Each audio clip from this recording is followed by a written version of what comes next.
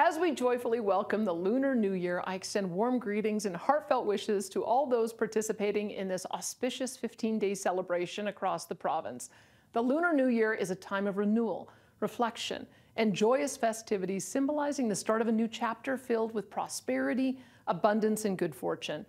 May this year of the dragon bring you and your loved ones health, happiness, and success in all your endeavors.